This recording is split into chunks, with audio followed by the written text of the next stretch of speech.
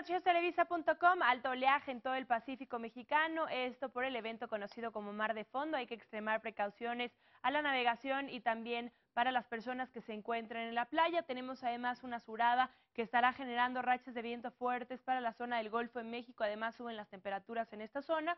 Un canal de bajas presiones que se suma con la entrada de humedad proveniente del Océano Pacífico y estará generando algunas lluvias para los estados tanto del noreste como del centro norte. En el noroeste, máximas por encima de los 32 para Hermosillo y Mexicali, 33 en Culiacán, La Paz se va a los 29, 20 para Tijuana, Juárez, Chihuahua y Durango con cielo totalmente soleado, alcanzando máximas que superan los 30. En Monterrey, lluvias fuertes con máximas de 26. Saltillo, Zacatecas, San Luis Potosí con máximas de 29. Matamoros, Ciudad Victoria y Tampico con máximas que superan los 27, también con tiempo estable. En el centro norte, lluvias en Pachuca y Tlaxcala con máximas por encima de los 22. 31 para Guadalajara, desde Tepic hasta Manzanillo, las máximas por encima de los 29. En Guanajuato se van a los 25. En la Ciudad de México, Toluca y Puebla, máximas que superan los 24.